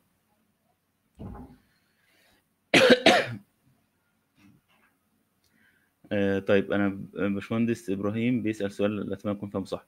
لو اشتغلت مشروع على Revit وال team الهندسي طبعا اشتغل باقي التخصص هل كده اسمه BIM ولا ليه اشتراطات تانية غير إذا كان كل حاجة موجودة على موديل على ال Revit معايا؟ سنة سنة واحدة بس. طيب لو أنا طب أنا أعتقد إن أنا فاهم المشروع ب- ال- معايا لو سمحت معايا معايا معايا ما ينفعش معايا اخرج بره في ليه ما؟ معايا دي من ضمن المشاكل الشغل في البيت. تمام؟ طيب خلينا نشوف لو إحنا شغ... أنا أعتقد إن هو قصده المشروع كله على ال Revit هي الفكرة بقى مش فكرة Revit ولا مش Revit فكرة أنا متبني ال BIM ولا لأ؟ يعني إيه متبني ال BIM؟ ممكن واحد يكون شغال على ال Revit معايا. سمعت يا مصطفى اخرج بقى. اخرج عشان بكلم مع الناس. يلا. ليه؟ جو يلا. عشان مكان معلش خد طب بالك. هخرج من هنا. يلا. تمام؟ أنا اسف على الازعاج. طيب. طيب أنا اعتقد السؤال بيقول لو إحنا شغالين على ال Revit ده كده يبقى BIM هي ال Revit ممكن واحد يكون شغال على ال Revit يكون شغال على ال Revit بس شغال عليه مش مظبوط. تمام؟ يكون شغال عليه؟ بيرسم generic model وخلاص. تمام؟ لا لازم يكون بيرسم مظبوط لازم يكون بيرسم الحيطة حيطة ويحط ال material مظبوطة ويحط المعلومات مظبوطة تمام؟ ما انت ممكن تكون شغال على ال AutoCAD الإنشائي أو ال AutoCAD المعماري أو ال AutoCAD الكهروميكانيكال وشغال مظبوط تمام؟ الاشتراط بتاعنا إن أنا لو خدت section يظهر معايا شغل مظبوط. طب لو أنا عامل حاجة ده 2D تمام؟ يبقى الحاجة دي مش مظبوطة. لو أنا عامل الشغل بتاعي 2D يعني أنا راسم 2D لما بتطلع في ال plan أو في ال section بتطلع مظبوطة. بس لما باخد section ما بيطلعش مظبوط. ده هيعمل لي إيه؟ لما تيجي تعمل clash detection هيطلع معاك مش مظبوط. فده بيبقى حاجة سيئة جدا. أنت ظهر عندك ال- ال clash detection zero clash بينما في الحقيقة في كلاشات موجودة كتير هتظهر في الموقع. فأنت كده مش شغال BIM إمتى أقول إن أنا شغال BIM لما تكون الكلاشات مظبوطة لما يكون الحصر مظبوط لما اكون أنا برسم الحاجة مظبوطة. يعني ال ال لما اكون برسم ال cable tray cable tray لما برسم ال- العمود الإنشائي عمود إنشائي. مش برسم generic model ومش برسم حاجة 2D يبقى كده ده BIM. تمام؟ طيب نفترض بقى ال- السؤال لو أنا كمثلا مهندس معماري شغال BIM وبقية الأقسام مش شغالة BIM تمام؟ يبقى كده ال BIM ده كامل ولا مش كامل؟ آه ده كده عندي حاجة اسمها ال big BIM وال little BIM. في كتاب كده اسمه big BIM and little BIM. تمام؟ إحنا لما جينا نترجم الكلمة دي قعدنا تقريبا أسبوعين فيها. ال big BIM ال BIM ذات القدرات الفائقه يعني ال BIM بتستفاد منه تماما بتعمل منه ال clash detection بتعمل منه الحصر بتعمل منه آه، التحليل الإنشائي التحليل الحراري تحليل الطاقة كل المعلومات اللي أنا عايزها بقدر أطلعها منها. إنما ال little BIM مقصود بيه ال BIM ذات القدرات المحدودة. إن أنا مش قادر أعمل clash detection. هعمل clash detection بين إيه؟ ما أنا ما عنديش كهروميكانيكال مش موجود BIM طيب آه طب لما أجي أعمل حصر ما فيش حصر غير للمعماري والإنشائي. فده عامل لي مشكلة. تمام؟ فدي فكرة ال big BIM وال little BIM. لو أنا عايز أستفاد من ال BIM كاملا لازم كل الأقسام تكون عاملة ال BIM بتاعها وتكون داخلة المعلومات مظبوطة. وكل ما بتدخل معلومات أنت محتاجها كإدارة مشروع بتستفاد منها. يعني مثلا دخلت معلومة مثلا ال material. فلما تيجي تعمل محاكاة لل material هيقول لك آه درجة الحرارة مثلا جوه هتبقى كذا. الشمس هتبقى عاملة كذا ال U value هتبقى كذا. كل ما بتدخل معلومات كل ما بيديك الاستفادة بتبقى أكتر. تمام؟ وحاليا بقى في حاجة من الذكاء الصناعي إن أنت ممكن تديله ال- المعلومات ويبدأ هو يشوف لك أفضل تصميم يشوف لك أفضل حاجة تقدر تختارها. يعني الذكاء الصناعي بدأ يدخل بقوة في المجال دوت. وطبعا إحنا هدفنا مش فكرة بيم ولا مش بيم الفكرة كلها آه، إن أنت تقلل الوقت تقلل التكلفه تزود الكفاءة. كان زمان يقول لك إيه عشان تقلل الوقت لازم هتزود التكلفة أو تقلل الجودة. يعني المثلث لازم لما تلعب في ضلع الضلعين تانيين يبوظوا. دلوقتي لأ إحنا في نفس الوقت بنقلل الوقت لأن الوقت اللي هو بتاع الغلطات اتحلت وقت الكلاشات وقت إن إحنا نوقف الشغل عشان نشوف حاجة قلت ال- الكفاءة بدأت تزيد لأن الكفاءة معناها إن أنا ما عنديش كلاشات. أصبح الموضوع أقوى بكتير. ال- ال- التكلفة بدأت تقل لأن الهدر أصبح يقل. يعني ال- ال- الهدر عندنا أنواع كتيرة من الهدر. فأنت بدأت تسيطر على موضوع الهدر دوت من خلال إن أنت عندك المعلومات من خلال إن أنت بتتفادى الكلاشات مسبقا من خلال إن أنت تاخد القرارات من الأول بدري من خلال إن أنت منظم الشغل والناس فاهمة الشغل والناس فاهمة أنت آه، عايز إيه. يعني في اللوحه 2 دي ممكن المشروع يبدأ ويخلص ومثلا مهندس الكهرباء مش فاهم مهندس المعماري عايز إيه. ممكن يكون مهندس معماري عامل حاجة جديدة شوية وما شرحهاش بالتفصيل فمش جاية بشكل حلو. طيب الوقت في عمل الموديل أول مشروع بيكون كبير جدا. طيب هو بيكون كبير لسبب إن إحنا ما اشتغلناش Revit كتير فما عندناش المكتبة الكافية أو ما عندناش الخبرة الكافية. تمام؟ هو آه بياخد شوية وقت بس مش مش بالكبير قوي يعني. يعني انت مثلا آه، لو انت عندك كل ال family اللي انت محتاجها في المشروع لأن انت اشتغلت مشاريع زي كده هتلاقي إن انت ما بتضيعش وقت إن انت تدور على family معينة. ما بتضيعش وقت لأن في حاجة مش قادر تعملها مثلا يعني عايز تحط مثلا باب في قلب مثلا آه، حتة زجاجية فمش راضي تيجي معاك فعمال تفكر أعملها إزاي وحاجات زي كده. لا بتلاقي ال- الموضوع بيبقى أسهل يعني. الوقت بالنسبة لنا في في ال BIM بيوفر معاك كتير قوي حتى في أول المشروع في آخر المشروع بيكون أقل بكتير من ال AutoCAD لأن ال AutoCAD بتقعد ترسم خطوط وترسم اوفست و والحاجات دي كلها. بس محتاج إن أنت تكون اشتغلت مشاريع كتيرة. لما تشتغل مشاريع كتيرة هتلاقي نفسك آه خلاص أنت مجهز ال template كويس. لو ال template بتاعك كويس هيوفر معاك وقت كتير قوي ال template بيوفر وقت كتير. لأن ليه؟ لأن خلاص أنت الإعدادات مظبوطه بتبدأ ترسم ما بتوقفش عشان مثلا جيت تطبع فلقيت الألوان مش مظبوطة فبتقف تظبطها ولذلك أحسن template اشتغلت فيه تاخد الملف دوت ايا كان ال software اللي أنت شغال عليه وتاخد المشروع وتنضفه وتخليه هو ده ال template بتاعك. يكون في آخر حاجة أنت شغال عليها آخر إعدادات مناسبة للطباعة عندك. تمام؟ وطول ما أنت شغال حاول تبقى عندك ال template حاول تبقى عندك ال standard بتاعك حاول تبقى منظم الشغل بتاعك ولو حد عنده أي مشاكل في أي حاجة يكلمني ونبدأ نحاول نحلها إن شاء الله. تمام؟ آه، هل في أي حد عنده أي أسئلة أو في أي اعتراض على اللي أنا قلته؟ نبدأ نتناقش فيها إن شاء الله. طيب لو أنا عايز أبدأ كشخص أبدأ إزاي؟ تبدأ بإن أنت آه، افتح موديل سطب البرنامج افتح موديل بص فيه آه، شوفه افتح اقفل البرنامج وافتحه تاني. بعد كده ابدأ شوف دروس آه، أبدأ شوف دروس على النت على ال على ال يعني شوفها على النت آه، أو خدها من أي حد من اصحابك أو اقعد مع حد فاهم البرنامج يبدأ يشرح لك الفكرة تاخد فكرة عامة عن الموضوع وتبدأ تطبق أهم حاجة التطبيق ولو عايز تاخد تروح مركز آه، مفيش مشكلة بالعكس بتديك قوة في إن أنت بتحتك بالناس بس أنا بتكلم أنت تشوف الفيديو بحيث إن أنت تشوف هل الموضوع ده مناسب ليك ولا لأ بدل ما تروح مركز وتدفع فلوس وفي الآخر تلاقي مش هو ده اللي أنت بتدور عليه خد فكرة بسريعة سواء مثلا سألت حد من اصحابك أو أو كده وتاخد فكرة عن الموضوع.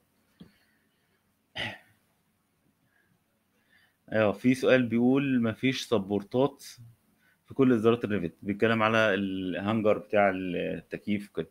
لا هو موجود. موجود في جزء بتاع البي ال fabrication. تمام؟ هو هو موجود في ال fabrication. وموجود بشكل قوي جدا إن أنت ممكن تخليه يعمل ال support ويبقى هو اوتوماتيك بيوصل لحد ال- ال- التسليح بتاع الدور اللي فوق.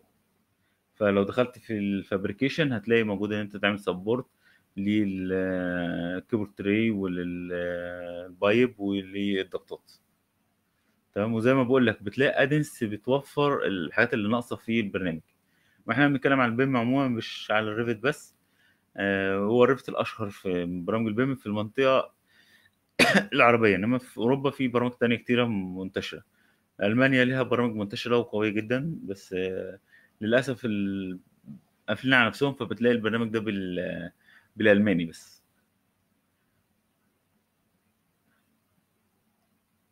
آه، ودلوقتي بدأوا يعملوا حاجات حلوة أوي إن كل البرامج بتاعة ال BIM بتصدر لحاجة اسمها IFC تمام؟ ال IFC دوت ده امتداد بحيث إن أنت تقدر تشتغل بأي برنامج وت- وتكمل وت- والقسم التاني شغال ببرنامج آخر.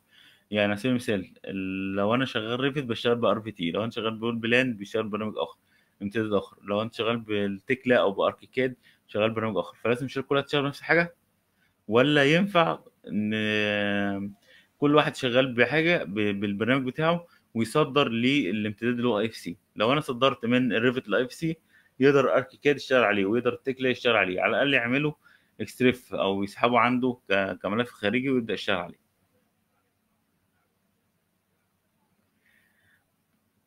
طيب تعال نشوف السؤال ده أنا عاجبني. المهندس إبراهيم بيقول لو اشتغلت مشروع CAD ومشروع BIM.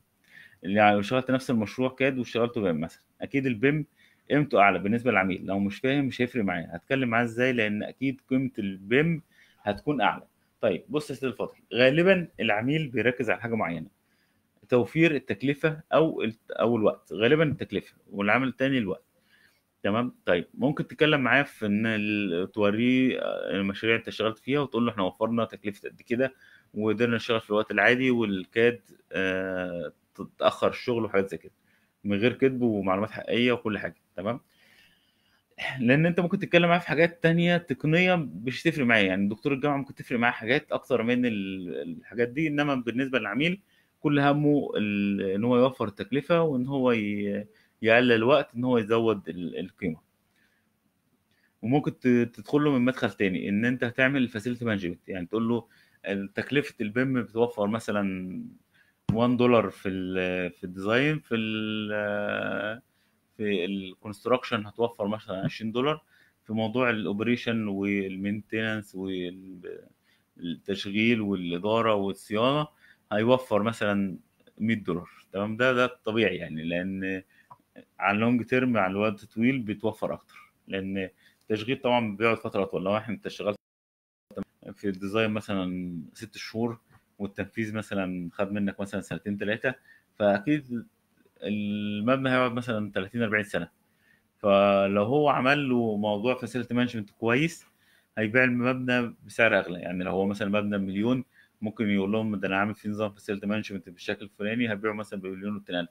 لو هو واخد LEED تمام بلاتينيوم أو ذهبي ممكن يزود له مثلا 100000 أو 200000 لأن هو بيبقى معروف إن المبنى ده هيوفر فيه التشغيل بتاعه. فالعميل هيقتنع بإن أنت بتركز على النقط اللي هو بيحبها النقط اللي هي هتدخل دماغه. توفير الفلوس ال- تقليل تقليل الوقت آه، وإن أنت بتزود ال- ال- الكفاءة بتاعت المبنى أو تقلل مشاكل. طيب إيه هي العيوب في تكنولوجيا البيم؟ تمام السؤال ده جميل. بص يا سيدي الفاضل هي في بعض الحاجات حتى الآن مش موجودة. تمام؟ بمعنى إيه؟ بمعنى آه إن هو ما يقدرش يتعامل مع إن مفيش فلوس. هيحلها إزاي؟ يعني ده السؤال ده جالي كتير. وبالذات من ال... بدون ذكر أسامي البلاد يعني. آه أنا دلوقتي مثلا ال material مش موجودة طب هو مش هيعرف.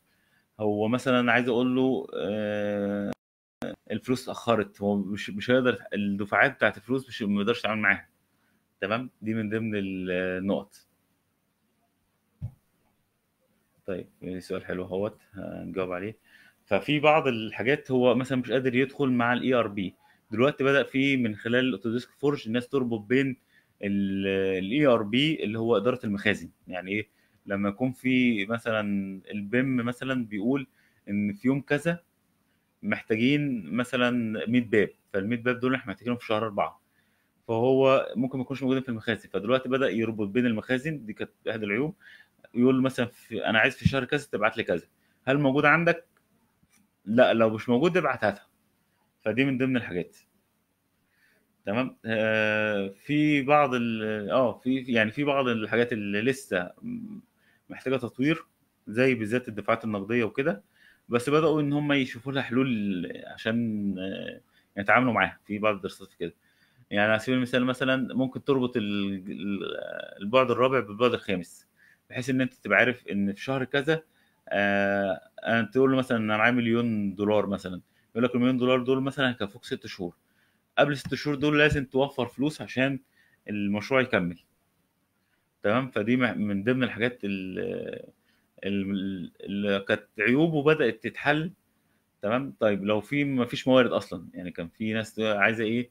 آه لما يجيب لي التكلفة يجيبها لي بسعر السوق النهارده. يعني أنا عندي مثلا طلعت الجدول يقول لي تكلفة الحاجات دي بكذا فلازم هو يتواصل لازم هو يتواصل مع ال- الموردين تمام؟ دي من ضمن الأفكار اللي الناس قالت عليها إن هو لو حد مبرمج يقدر يعملها يشوف الموردين الموجودين ويقول له سعر الحاجات دي كام النهارده فيقول له مثلا دي ب 10 دولار يروح كاتبها 10 دولار ويحسب لها ويقول لي تكلفة المشروع ده لو نفذته النهارده بأسعار السوق النهارده هتبقى كذا. دي من ضمن الحاجات اللي لسه ما اتعملتش وإن كان في ناس شغالة عليها بس فيها شوية مشاكل كده تقنية زي إن الموردين ما بيرضاش يقول لك يقول لك سعر inbox يعني لازم كنت تكلمه بالتليفون عشان يبدأ يشوف الحلول ديت. طيب التصدير ال IFC ساعات بيبقى فيه مشاكل آه بس كل كام شهر بتلاقي فيه updated وفي حلول تمام؟ يعني من المشكلة دي كانت من كام سنة كان فعلا ال IFC متدمر خالص. بدأ يتطور بدأ يتطور بدأ يتطور دلوقتي أصبح معقول لحد ما بنعتمد عليه بشكل كويس موضوع ال IFC دلوقتي. ما بقاش 100% بس بالنسبة للأول لأ بقى في تطوير لأن هم كل شوية بيطوروا فيه. طيب في حد بعت سؤال إيه وجهة نظرك في الشركات اللي مش قادرة تاخد قرار الاعتماد على ال Revit مع العلم الكوادر موجوده بص هو الفكرة كلها كل واحد بيبص من وجهة نظره هو تمام؟ يعني ما تقدرش آه، تلومهم قوي آه، تمام؟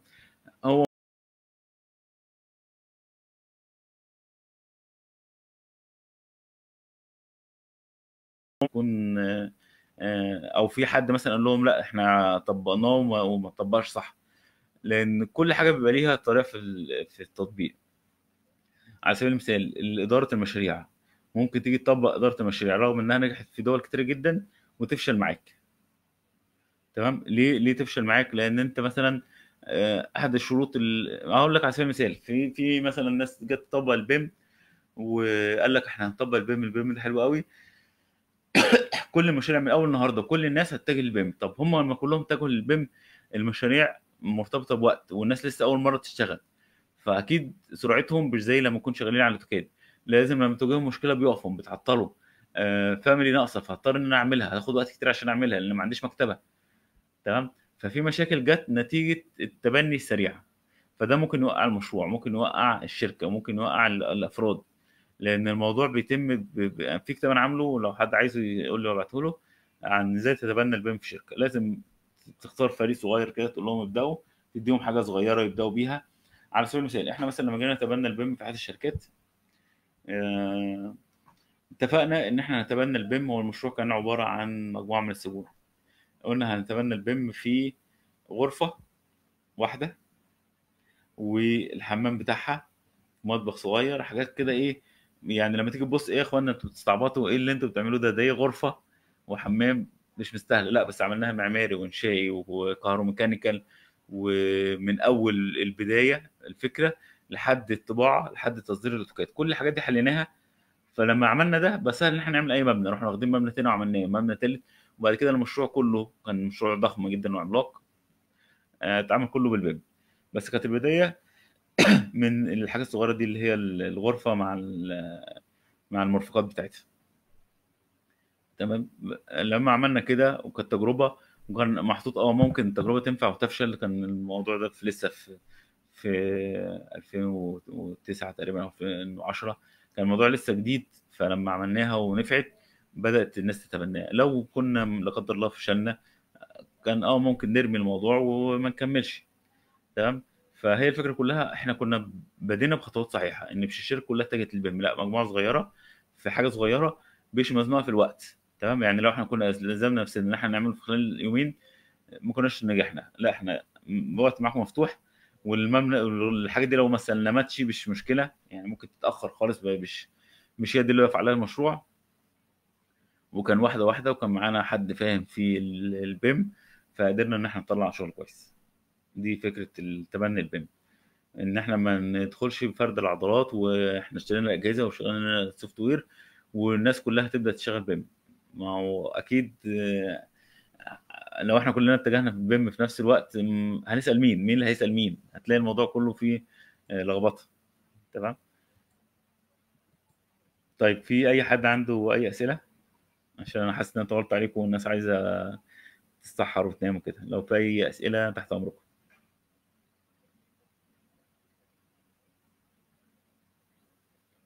وأنا طبعا شاكر ليكم إن أنتوا استحملتوني في طبعا شغل في ال- في ال BIM بيبقى فيه مشاكل وكده.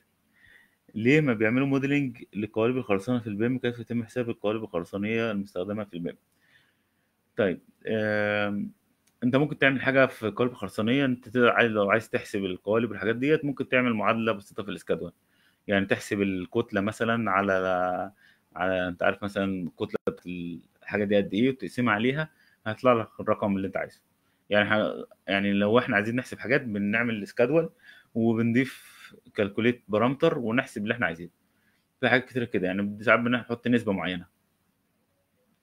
آه باشا ما أقدرش ازهق من الأسئلة أنا تحت أمركم. يعني لو عايزين الفجر ونسحر مع بعض أنا تحت أمركم. يعني معاكم إن شاء الله. تمام؟ ف يعني مثلا في في وإحنا كنا شغالين في مشروع حقيقي كان عبارة عن برجين كان آه، معانا واحد متخصص في الجي سي اس الجي سي اس يعتبر هو ال LEED في قطر تمام؟ فعملنا له معادلات بحيث إن هو ما يعملش حاجة خالص. يفتح يلاقي المعادلات جاهزة الملف الملف مكتوب فيه GSAS والحاجات اللي هو خاصة بيه مكتوب عليها GSAS يفتح يلاقي الجدول جاهز وفي لو في حاجة خطأ مش محقق الحاجة ديت بتاخد اللون الأحمر. تمام؟ فكان الموضوع سهل جدا بالنسبة له. هو قلنا له ما تتعلمش Revit خالص. أو إحنا مش عايزين منك تتعلم Revit تمام؟ يعني إحنا بصينا كان في كود معين في كود أمريكي. كان في كده إن مين المطلوب منه يتعلم إيه؟ طبعا المعماري وال structural وال mechanical لازم بيتعلموا ال BIM بس الراجل بتاع الحصر مش مطلوب منه يتعلم حاجة. جهز له الجداول بحيث إن أنت تصدرها له وياخدها جاهزة. بتاع ال GCS؟ لا جهز له أنت كل حاجة بحيث انه ياخدها جاهزة. فكان مثلا في نسبة معينة عشان تاخد آه، نجمة معينة إن أنت مثلا تبقى حاجة معينة. تمام؟ محقق مثلا مثلا 20 ل 90 ل 80 وهكذا. نسبة ال- المساحة الخضراء.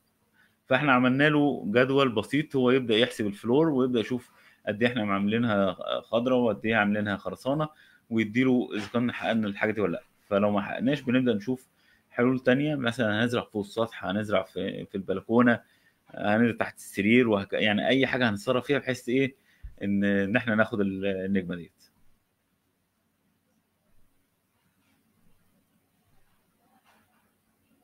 تمام؟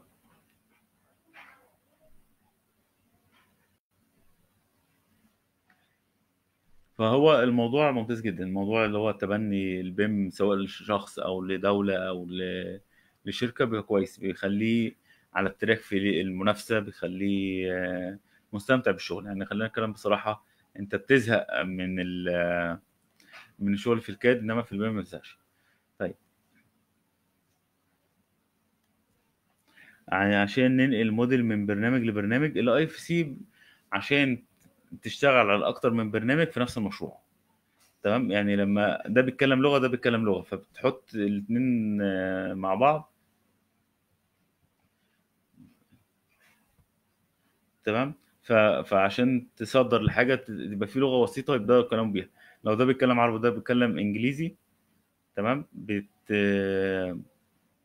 بتلاقي فيه مشكلة. فهو لغة مشتركة. ال Revit مثلا بيصدر IFC وال ArchiCAD يقدر يسحبه ويبدأ يتعامل معاه. طيب ال... يعني مثلا نقل الموديل من ال Revit لل Max صعبة مشتركه بين البرامج. طيب بص يا فاضل ال Revit لما تبعت لل Max انت بتفقد ال information الموجودة. انت بتدخله على ال Max عشان حاجة واحدة بس عشان يعمل ال render. تمام؟ مش بتعمل يعني هو مش هيستفاد من المعلومات هو بيعمل render. وإحنا ساعات بنعمل كده نعمل الموديل كله على ال Revit وندخله على ال Max نعمل render وكان الله بالسر عليه. تمام؟ تعمل render بقى صورة تعمل فيديو زي ما انت عايز. فهو مش محتاج ال IFC لا ساعات بنصدرها بال FBX عشان نحافظ على ال material. تمام؟ وساعات بنعمل render ببرنامج اليومي مثلا.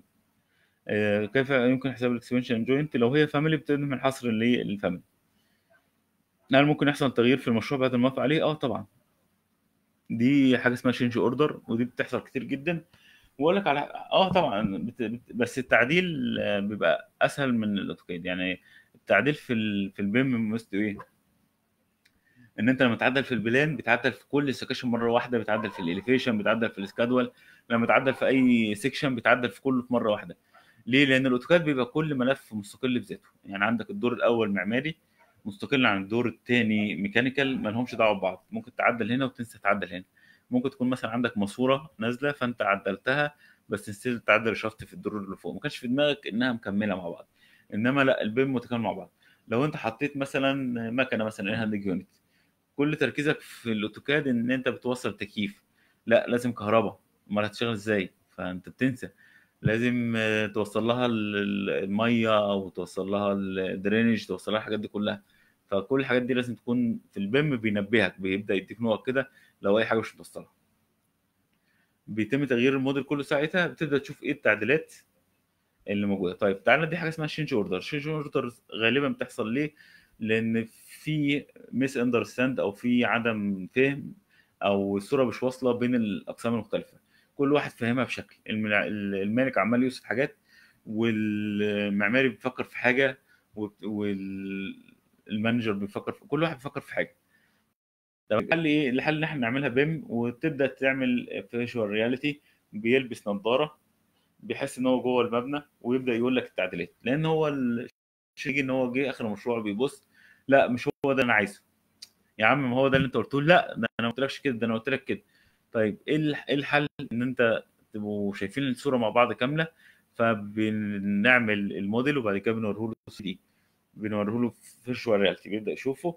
ولو عنده أي comment ات يقول لك لا يقول لك مثلا ده أنا حمام السباحه ده عايز فوق السطح لا ده أنا عايز السور يبقى عالي عشان من الجيران ما يشوفونيش. لا ده أنا عايز كذا. كل واحد بيبقى عايز حاجة ولولا كثره الأذواق لبارت السلع تمام؟ والإمام الشافعي ليه شعر يقول لك إيه كل ساقطة لاقطة. وكل كاسدة لها سوق يعني كل واحد بي بيميل لحاجة معينة. تمام؟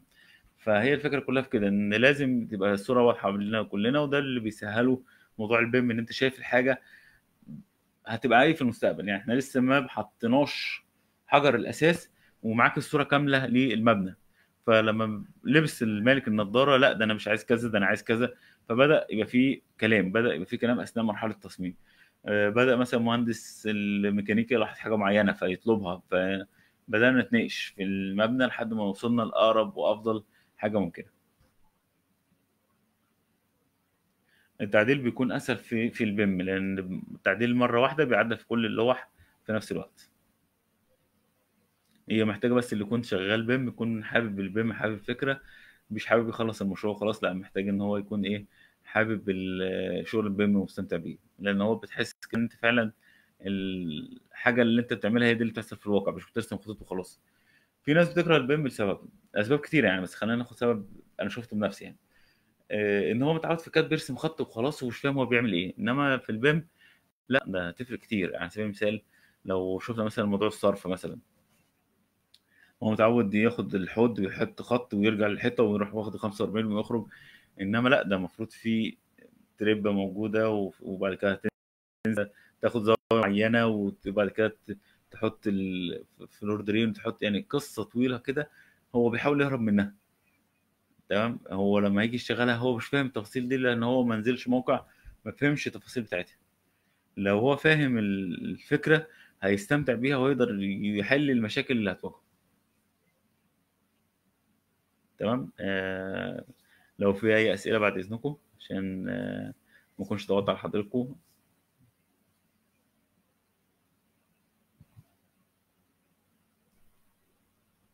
واتمنى يكون الموضوع بسيط وأتمنى الناس تتبنى فكرة البيم لنفسهم يعني إن أنت هتبناه هتلاقي فرص أفضل هتلاقي هو مطلوب في السوق فهتلاقي فرص كويسة إن شاء الله.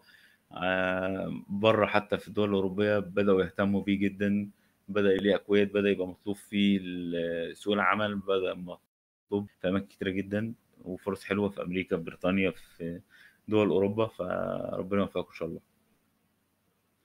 الله يكرمك يا باشمهندس جزاكم الله كل خير. ويعني أنا آسف على ال- ال- المشاكل اللي حصلت النهارده. وأتمنى إن شاء الله يعني يكون الموضوع مفيد بإذن الله. شكرا لكم جميعا. جزاكم الله كل خير.